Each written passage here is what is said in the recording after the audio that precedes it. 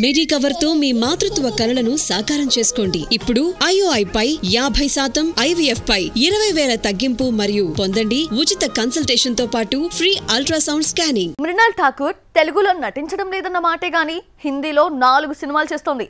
కొత్తగా కోలీవుడ్లో కూడా అడుగుపెట్టింది. తెలుగులో నటించిన మూడు సినిమాలు ఈ అమ్మడికి తమిళ ఆఫర్ తీసుకొచ్చిందా?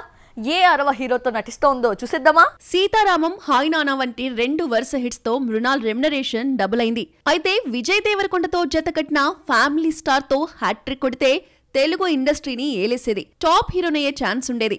హ్యాట్రిక్ మిస్తో ఆఫర్స్ కోసం వెయిట్ చేయాల్సిన పరిస్థితి వచ్చింది. టాప్ గేట్లో దూసుకుపోతున్న మృణాల్కి ఫ్యామిలీ స్టార్ బ్రేక్ లేశాడు. తెలుగులో ఆఫర్స్ దక్కకపోయినా నాలుగు Hindi movies Pooja Meri Jaan Hai Jawani Toh Ishq Hona Hai son of Sardaar two Tum Ho Toh బిజీగా గడిపేస్తోంది. తెలుగు హీరోలు పట్టించుకోకపోయినా తమిళంలో అదిరిపోయే ఛాన్స్ అందుకుంది మృణాల్. తమిళంలో నటించాలన్న డ్రీమ్ను సూర్య తీర్చాడు. ఆర్జే బాలాజీ దర్శకత్వంలో రూపొందుతున్న ఈ సినిమాలో సూర్యతో మృణాల్ జతకడుతోంది నిజానికి కంగువలోనే మృణాల్ నటించాల్సిన ఆఖరి నిమిషంలో దిశా పటాని వచ్చి చేరింది.